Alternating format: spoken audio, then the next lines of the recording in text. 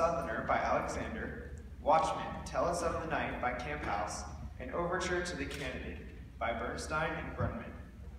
Please welcome to the stage William Molyneux and the Osceola County School for the Arts Wind and